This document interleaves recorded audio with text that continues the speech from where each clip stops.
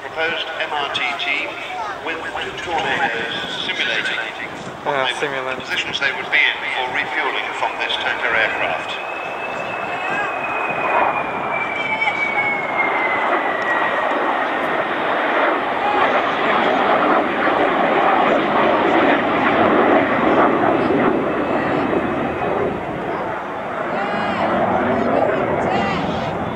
Next time they come for the refueling out in front of the Tornados.